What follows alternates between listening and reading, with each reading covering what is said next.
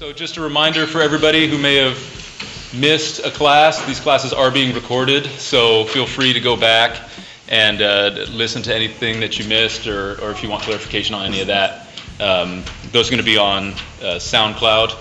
Um, and I believe, I'm not sure if there's a link on the website. Adrian, there, are, there is a link on the website. Okay, good. Um, and all the classes are there too, so you can get uh, the other classes that are going on right now. You can listen to those as well if you're interested. And uh, we're going to be covering Gnosticism this morning. So, fair warning, it gets a little complex and a little weird. So, I will make sure to stop now and then to just make sure you all are doing okay. If there's any clarifications that need to be made, uh, go ahead and let me know. So, let's go ahead and pray, and then we'll get started. Father, we thank you for an amazing lesson this morning and so relevant to our times. We just pray that that which was said this morning uh, will dwell in our hearts and that we would stand firm in the foundation of your word in the face of secular humanism and neo paganism and all these things that are assaulting your truth today. And we're going to look at something like that this morning, something that is known as the enduring heresy, Gnosticism, something that assaulted the early church in the second and third century, and we just pray that as we study it, we will recognize it for what it is, as, as falsehood, and that we would seek to refute it and understand your truth even better in light of it. And we pray these things in Jesus' name. Amen. Right. So if there was ever a heresy that warrants the title of arch heresy, or that could be viewed as preeminent among the heresies, it would be Gnosticism. It started to gain popularity in the second century AD, a time when the infant church was for the first time left without the guiding influence of a living apostle. John the Apostle had died right around the turn of the century. The church as a whole was still compiling the canon of Scripture. Not only that, but the Christian faith was still illegal, and so the saints were still enduring periodic waves of persecution from external antagonists. From a human perspective, it was a very vulnerable time for the infant church. And it was at this moment in history that Gnosticism was hitting its stride. A belief system that, though it claimed to be the true expression of Christianity, was in many ways the exact opposite of all that the scriptures teach. In its language and external presentation, it could appear to be very similar to that of the Christian faith, though its core beliefs regarding this world, salvation, and our place in it, it could not be further from the truth. As Douglas Greenlees, a modern Gnostic, says, in its wording, Gnosticism is Christian while its spirit is that of the latest paganism of the West. And though its heyday was relatively short lived, lasting only a few centuries, it was nevertheless a very insidious and dangerous heresy that's influence and impact on cultural and religious thought are still evident to this day. And that is why Gnosticism has been called the enduring heresy. I've become convinced that though we could label all heresies in some sense as demonic, or see them as being introduced in some fashion by Satan, who himself is the father of lies, Gnosticism is blatantly, obviously, and preeminently a work of the devil. And hopefully, in the course of this class, I can demonstrate and convince you that my conclusion is not in any way overstated. So, what is Gnosticism? What did it teach, and where did it come from? The Gnostics taught a dualistic view of reality, that the physical world was inherently evil and corrupt, and that the spiritual was good and pure. Also, there was a perception in the Gnostic thought that this physical existence was an illusion or a facade, veiling the single spiritual unity of all things. They taught that salvation was obtained through secret knowledge, knowledge the Greek word for knowledge, gnosis, right? So they become known as the Gnostics. So it's the salvation is obtained through secret knowledge as opposed to the gospel, right, which is proclaimed openly uh, and, and proclaimed without distinction to all. Right, when Paul says to King Agrippa, none of these things has escaped the king's notice, for these things were not done in a corner, right? That's the truth of the gospel. But when it comes to Gnosticism, it is a secret, esoteric knowledge. And it was through this acquisition of this secret knowledge that one could be released from this present evil physical reality and ascend to the spiritual realm and escape from this corporeal prison. As a movement, it was really an amalgamation or a hybrid of multiple other streams of religious thought. So, at its root, it was by nature syncretistic and as Gnosticism grew and entered other areas of the world, it had no trouble integrating different aspects of the regional religions of its day into its own system. As Gnosticism expert Kurt Rudolph says, with reference to its interaction with Christianity, quote, it was a parasite prospering on the soil of the Christian religion, unquote. Now, though it was a prominent movement in the second and third century, its true origins are unknown. The prevailing thought is that Gnostic tendencies started to develop at the same time as the early church. At the same time that the early church was expanding and growing, Gnosticism was starting to take root. This would explain some of the anti Gnostic polemics that we see in the New Testament, because these tendencies were already starting to cause issues in the first century Christian community. But these tendencies did not really become a full blown movement until the second century once its adherents had developed their own theology and established their own Gnostic scriptures. So, though we don't know exactly when it started, we can identify the different religious ideologies that eventually gave rise to it. So, fundamentally, there are three main contributing religious systems that the Gnostics drew from Eastern religion, specifically Persian and Babylonian religion, Jewish mysticism, and Greek Platonic thought. Before we get into the details, again, disclaimer stuff gets pretty weird. We're about to get into it. If I need to slow down, if there's any clarification needed, feel free to throw up your hand and uh, we'll address it. And also, the Gnostic movements of the second and third century were not monolithic, right? They didn't all believe the exact same thing. So each Gnostic group would have different spins and variations uh, when it comes to their creation myths and doctrines that they taught. So I'll do my best to accurately represent them, though uh, for the sake of time, we'll have to generalize and skip some things, but we'll make sure to hit the big points. So, to get the taste of their ideology, I want us to consider three major topics. I want to look at their cosmology, that is, their view of creation and their view of this world. I want us to look at how this relates to their soteriology, that was their concept of salvation. And I want us to examine how this ultimately worked itself out in the way they lived. That is, how did their view of this world and the way they viewed salvation affect the way their communities lived their lives? And we'll see that it eventually it either resulted in asceticism, the harsh treatment of the body, or antinomianism, which is licentiousness. Those were the two paths that this worldview resulted in. So, what was Gnosticism's cosmology?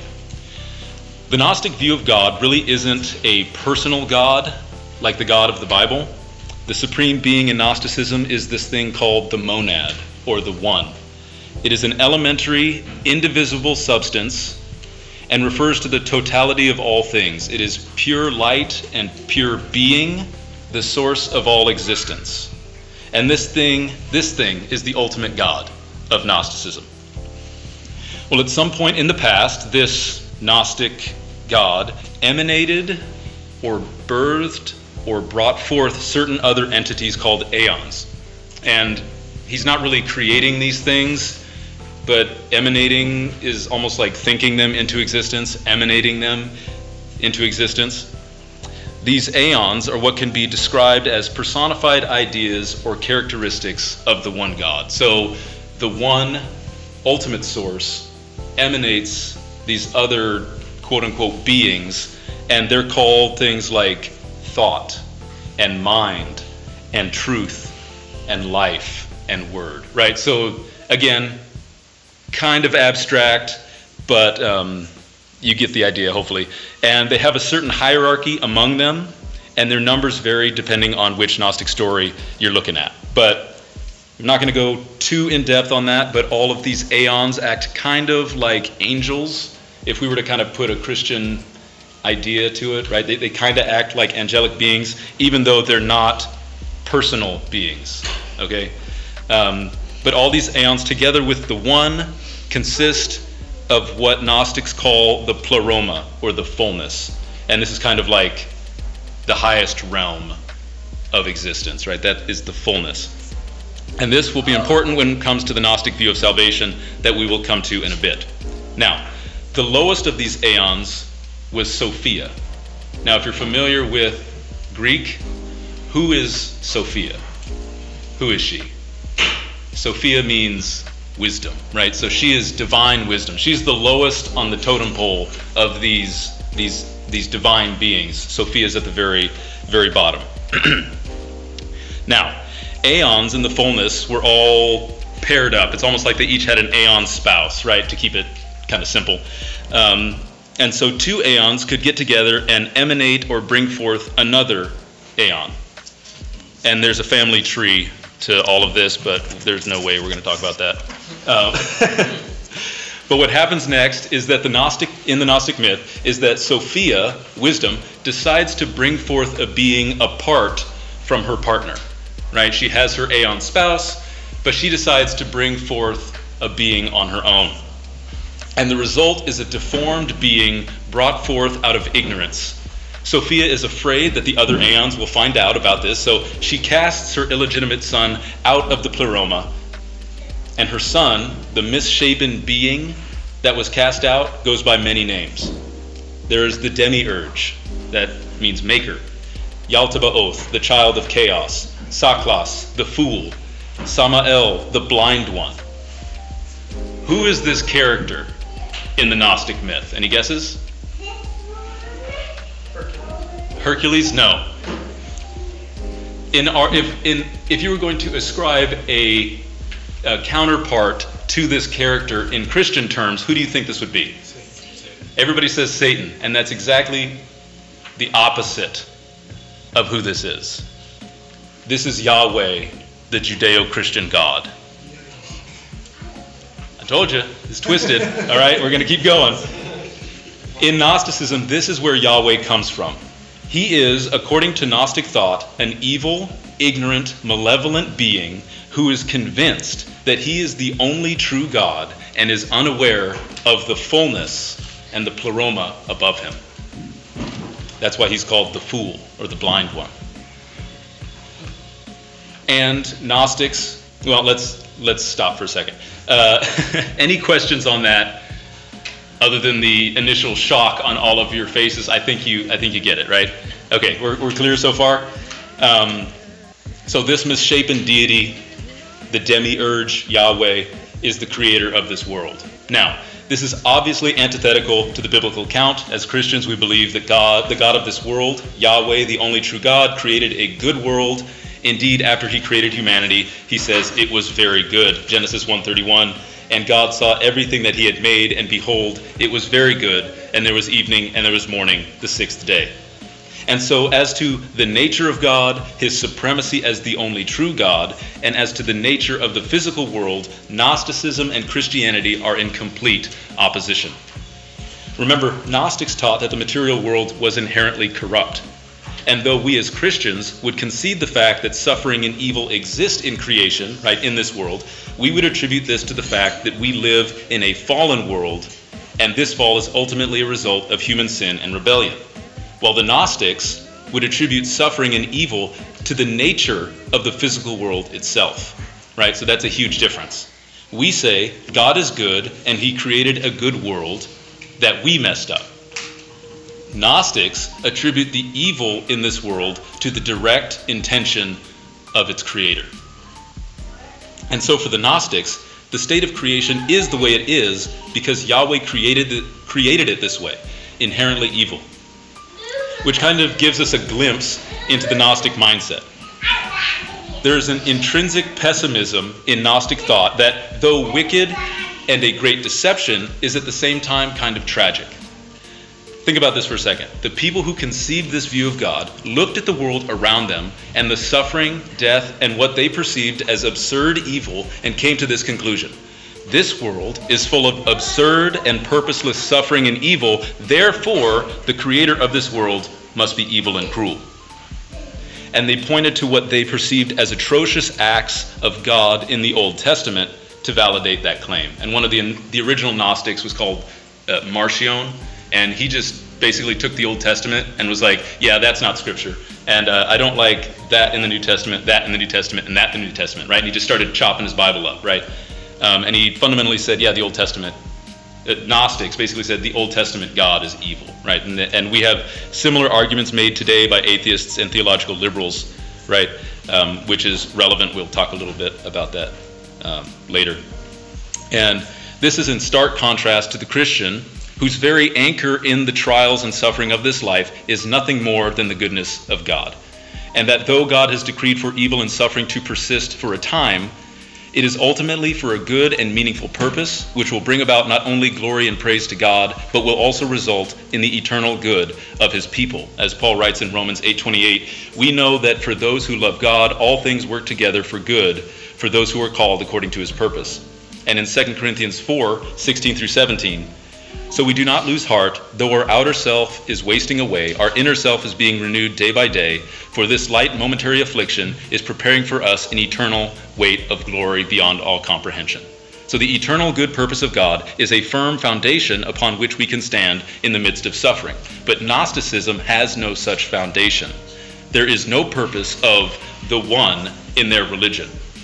As we have already seen from the Gnostic myth so far, the creation of the physical world was a mistake the Gnostic God, right, the one, never intended to bring creation about. It was a result of a rebellious aeon bringing forth an illegitimate Gnostic, uh, ignorant child, right? So, what happens next in the Gnostic story? I know you're all on the edge of your seats.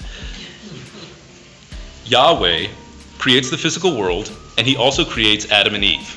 Now, at this point in the narrative, the different traditions diverge a bit but ultimately the divine spark, or a part of the essence of Sophia, gets transferred to Adam and Eve.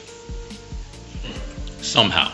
Um, one of the thoughts is that the uh, so once Sophia realized what she did, she went back to the other aeons and was like, "I've made a mistake." And meanwhile, Yahweh's on earth trying to figure out how to create something in His own image, and He makes this human, but He has no way of figuring out, well, how do I make this thing alive? And the aeons tell Yahweh, uh, breathe into him, right? And so in and Yahweh has the divine spark of Sophia in him, and so he breathes into Adam and Eve. He himself loses the divine spark. Adam and Eve um, receive it, right? So that's one of the one of the myths uh, on how that actually happened. But this is the mythic origin of the Gnostic anthropology, right? This is their view of humanity that humans each contain spiritual sparks or pieces of the divine essence trapped in physical bodies, almost like a prison. So, man, in the Gnostic view, is actually superior in his being to that of the demiurge Yahweh, because Yahweh doesn't have the divine spark in him. And as a result, Yahweh devises a plan to keep Adam and Eve ignorant of their true nature. So, what do you think he did? Any ideas? Trees. okay, well, before he says don't eat from the tree, he places them in a garden. He places them in a garden to keep them distracted from their divine spark within them. And every tree in the garden was full of fruit that would keep them ignorant of their true nature, except for one. Any guesses as to which one that might be? It's the tree of knowledge of good and evil. And by partaking of this tree, they passed, when they did so, they passed from ignorance into the knowledge of their true divinity. And this realization or enlightenment is what Gnostic salvation is all about. Do you guys see how this is the exact opposite of Christianity? It's twisted. So let's talk about Gnostic soteriology for a minute. Are we clear so far before we move on? Good? Okay. So let's talk about Gnostic soteriology. In opposition to the scriptural teaching, the Gnostics viewed the fall as a good thing, as we just mentioned. It was the moment that Adam and Eve broke free from the deluding inf- influence of Yahweh and came to realize their true selves. And this is really a blueprint for Gnostic salvation as a whole. That through the acquisition of secret knowledge, specifically regarding the true nature of this world and your identity, you can be set free from this fleshly, corrupt world and ascend back to and be absorbed back into the fullness that is where your divine spark originated. And so in Gnosticism, your problem isn't sin, but rather ignorance. You don't need atonement, but rather enlightenment. You don't need to be redeemed, but rather you need to realize your true identity. So this if this is their view of salvation, what role does Jesus play? Jesus' identity in Gnosticism is that of a divine teacher sent to teach men about this secret knowledge. In fact, guess who convinces Adam and Eve to eat of the fruit in the Gnostic story? I think you guys are catching on, right? Is it Satan? Jesus. The Christ. He is the one who tells the image bearers of God that you will not surely die, for God knows that when you eat of it, your eyes will be opened. And you will be like God, knowing good and evil. And in partaking of the fruit, their eyes are opened. And this is a good thing, according to the Gnostic. Unlike the biblical Christ, he is not the second person of the Trinity, Yahweh in flesh, but rather he is a divine being sent from, quote unquote, the One to teach men how to be liberated from the oppression of Yahweh. So, in essence, he's greater than Yahweh. And though he appears in the likeness of flesh, he's not actually human. Remember, for the Gnostic, matter is inherently evil. So, if Jesus is perfectly good and holy, he could not have taken on a physical body. This teaching or tendency is referred to as docetism, which downplays the humanity of Jesus. So for the Gnostic, Jesus only appeared to be human. And not only that, Jesus only appeared to die on the cross. That actually didn't happen either. And it is in response to this type of teaching, docetism, that John writes in 1 John 4 1 through 3 Beloved, do not believe every spirit, but test the spirits to see whether they are from God. For many false prophets have gone out into the world. By this you know the Spirit of God. Every spirit that confesses that Jesus Christ has come in the flesh is from God, and every spirit that does not confess Jesus is not from God. This is the spirit of the Antichrist, which you heard was coming, and now is in the world already. The word John uses for Antichrist is Antichristos, which means the one who assumes the guise of Christ yet opposes Christ. Can you think of a more accurate title to describe the Gnostic heresy? Christ did not come to redeem, atone, cleanse, or forgive. He did not come to bear our sins and die on the cross to reconcile us to God. Instead, they present a false Christ who comes to tell you that you are more important and more special than you could ever imagine. You're actually divine, superior to Yahweh Himself. And you need to transcend this physical evil creation and return to the one divine source. The Gnostics teach that the true God, Yahweh, is a liar and a fool, indeed, the very devil himself. And the ancient serpent, the devil, whose lies plunged the human race into corruption in the first place, is presented as Christ. The Gnostic heresy blatantly points people away from God and away from His Word, and instead instruct men to listen to the voice of Satan himself. We mentioned before the tragic nature of the Gnostic worldview, but now I think it's necessary to mention how arrogant and self exalting their doctrines actually are. The Gnostic gospel gives the depraved sinner exactly what they want. The original sin was, in essence, man seeking to be God. And the Gnostics tell men, God is exactly who you are. And the secret to salvation is realizing that. So, how did this worldview affect the way the Gnostics lived in the world? What did their theology look like when they applied it to their life? It ended up resulting in one of two divergent lifestyles. Some Gnostics, in their effort to liberate themselves from the body, engaged in asceticism. They practiced lifelong abstinence and had strict dietary rules, among other things. And this practice grew out of their view of the creation, right? This physical world was evil by nature, and so by their asceticism, they mitigated their interaction and participation in it, which they saw as inherently corrupt, right? So they're, they're trying to keep themselves from the physical world as much as possible. On the other hand, there were Gnostics that took a different approach. Instead of a rigorous asceticism, they opted for licentiousness or blatant antinomianism. And this also grew out of their view of creation, but specifically as it related to their anthropology. But unlike the Gnostic ascetics who desired to abstain from worldly involvement, these Gnostics embraced the fact that this world is not the ultimate reality. Their true reality, the true self, was not physical but spiritual. So they did not see what they did in the body as of being in any consequence. Now, as Christians, we would see problems with both Gnostic applications. We disagree with the Gnostic ascetics about the nature of creation. We believe that it is inherently good and that God's creation and life in it is something to be enjoyed. Obviously, we are to do so with spirit wrought, uh, the spirit wrought fruit of self control and should not sinfully participate in the abuse of God's good gifts. But nevertheless, we ought to praise God for the good and gracious blessings that He has given us as His creatures. And we also disagree with the antinomian Gnostic. As Christians, we recognize the goodness and value of the law of God, which He has written on the tablet of the regenerate heart. We long to live in a way that pleases God in thought, word, and deed, to love the Lord our God with all our heart, soul, mind, and strength. And so we recognize that man is an integrated being. He cannot be partitioned into two separate parts that have no interaction with one another. I think there's actually something to be said about this stark dualistic view of man and how it has affected the way even secular culture views the reality of being human.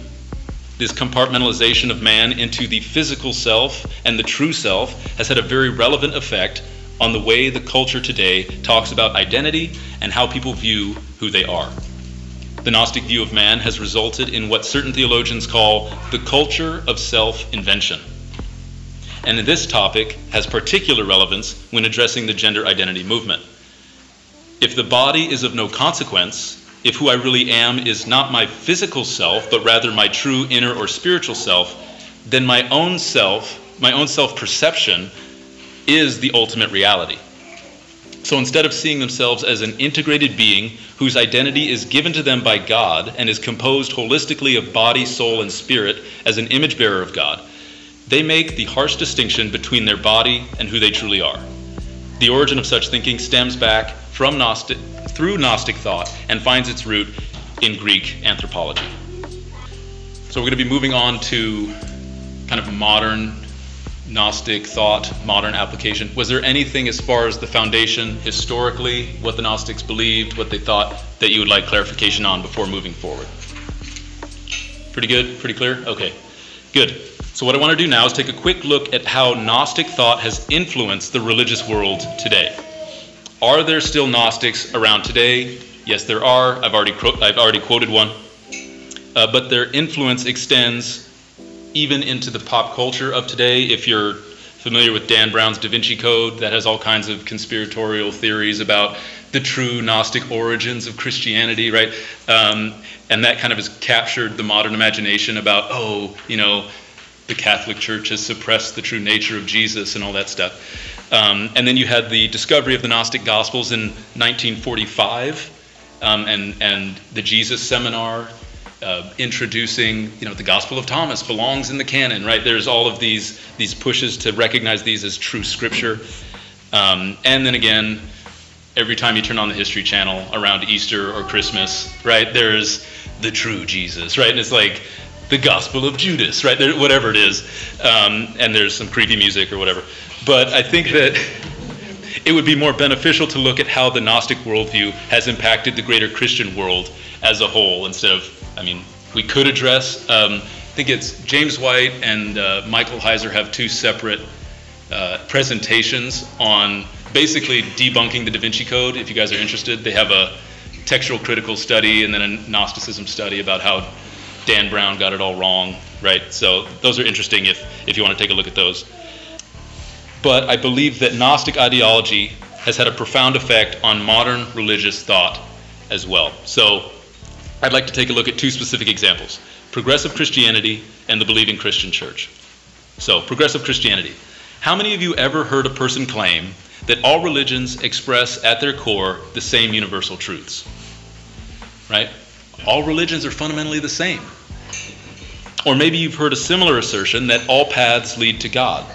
As Oprah puts it, one of the mistakes that human beings make is believing that there is only one way to live. There are many paths to what you could call God.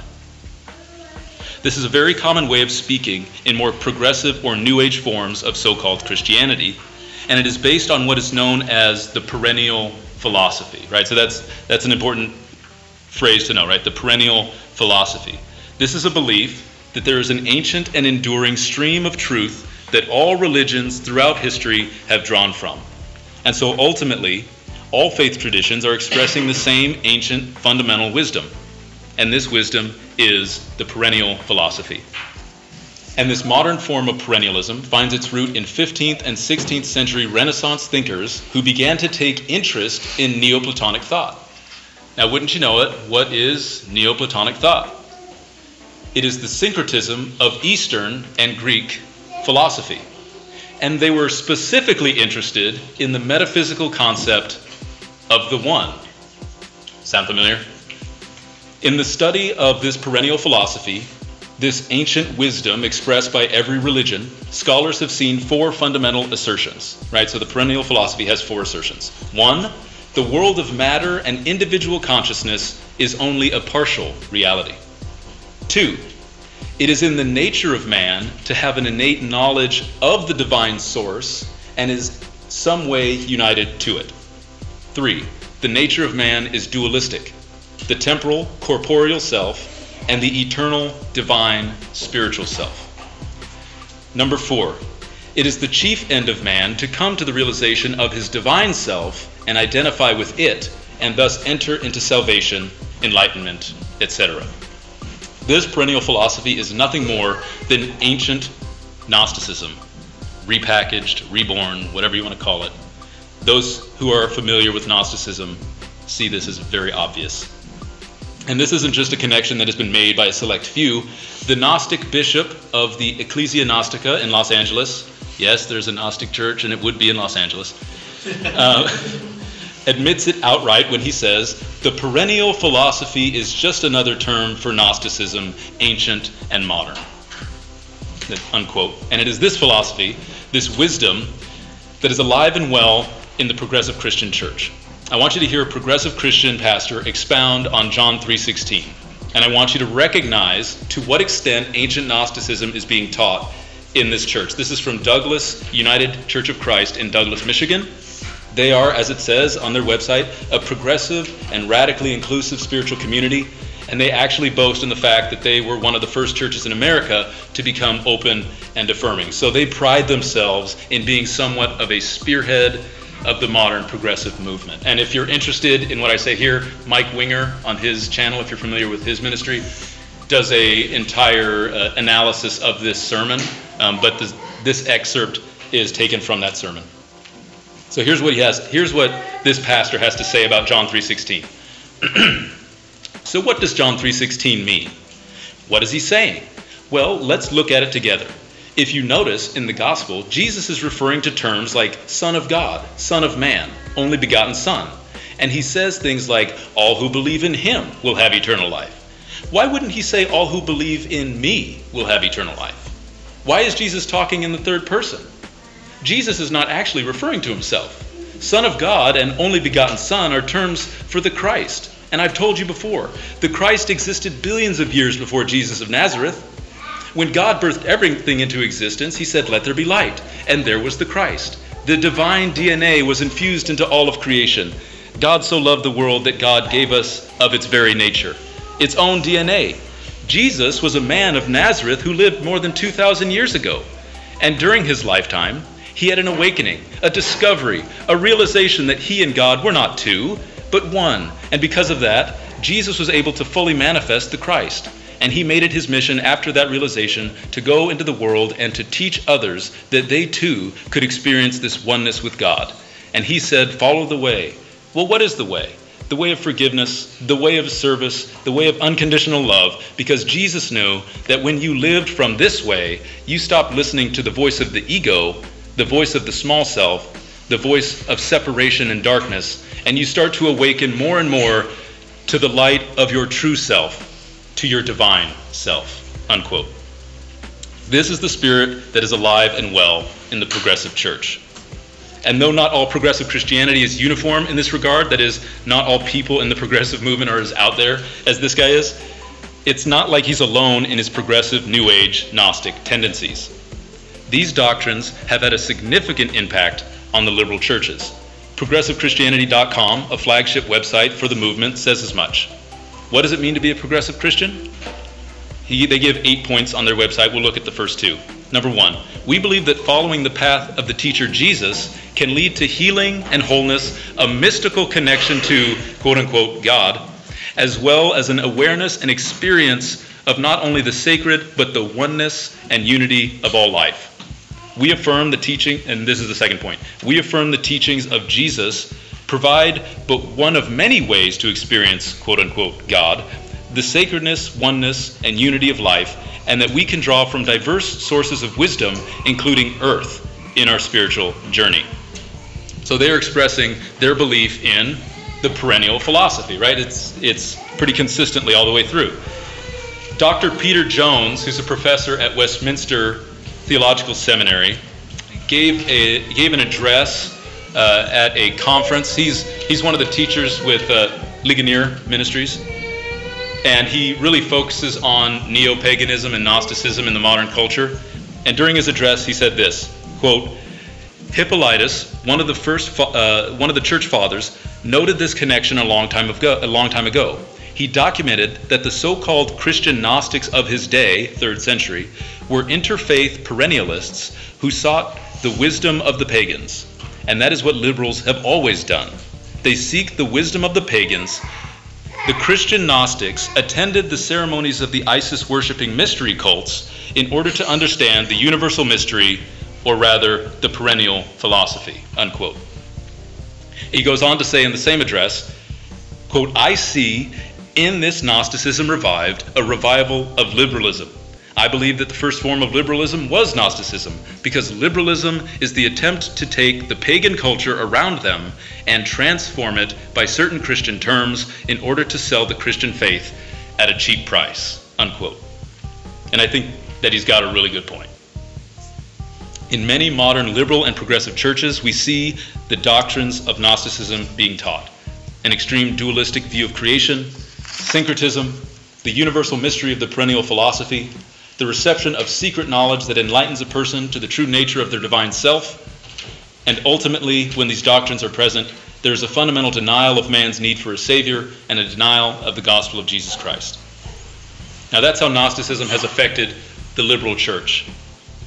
But I don't think we have to look too far outside of our own conservative circles to see the effects of Gnosticism. And we're going to go ahead and end on, on this point. I do think the modern evangelical church has exhibited some Gnostic ways of thinking when it comes to certain things. Neglecting the means of grace, seeking mystical experience, downplaying the humanity of Christ, viewing the law of God as something to neglect, viewing the God of the Old Testament and his character as something qualitatively different than the one in the New. But I would say the most evident way Gnosticism has influenced the believing church is in our view of our eschatological hope. That is, our ultimate hope for our future salvation. And here's what I mean Is our hope ultimately to shed this mortal self, escape from the body, leave this world behind, ascend to heaven, and exist in some far off place, bodiless, floating around in some ethereal form. No. And yet, this seems to be a very widespread perception of what a Christian's life after death will be like. Now, there is a state or period of time described in the scripture where after we die, we will be absent from the body and present with the Lord. That's true. But that's not our ultimate hope. The disembodied state between the Christian's death and resurrection is an anomaly it isn't the state in which man was intended to persist. Christians throughout history have had the ultimate eschatological hope of resurrection and new creation. Christ didn't just redeem our spiritual self. Gregory of Nazianzus said that which Christ has not assumed, he has not redeemed. Well, Christ assumed a real human nature. He was like us in every respect, yet without sin. And he redeemed us through his mediating work, his physical incarnate, life, death, and resurrection. And he redeemed us body, soul, and spirit. And so, as opposed to the Gnostic who wants to escape this world and be released from this fleshly prison, quote, we ourselves who have the first fruits of the Spirit groan inwardly as we wait eagerly for adoption as sons, the redemption of our bodies. For in this hope we were saved. Now, hope that is seen is not hope, for who hopes for what he sees? But if we hope for what we do not see, we wait for it with patience. An embodied physical existence is not the problem. Sin is the problem. And we know that, quote, if the spirit of him who raised Jesus from the dead dwells in us, he who raised Christ Jesus from the dead will also give life to our mortal bodies through his spirit who dwells in us. And so we look forward to the resurrection of the dead, an embodied existence, free from sin, not in some other realm, but in the new heavens and new earth, that is, a creation set free from its, from its bondage to corruption. As Paul writes in 1 Corinthians 15, For the trumpet will sound, and the dead will be raised imperishable, and we shall be changed. From this perishable, for this perishable body must put on the imperishable, and this mortal body must put on immortality. When the perishable puts on the imperishable, and the mortal puts on immortality, then shall come to pass the saying that is written Death is swallowed up in victory. O death, where is your victory? O death, where is your sting? So, hopefully, as we close, you can see, having looked at the Gnostic worldview, why it was such a problem for the Christians in the second and third century, and how it unfortunately remains the enduring heresy. I want to leave you with a uh, scripture reference 1 Timothy 6 20 through 21, where Paul says this to Timothy.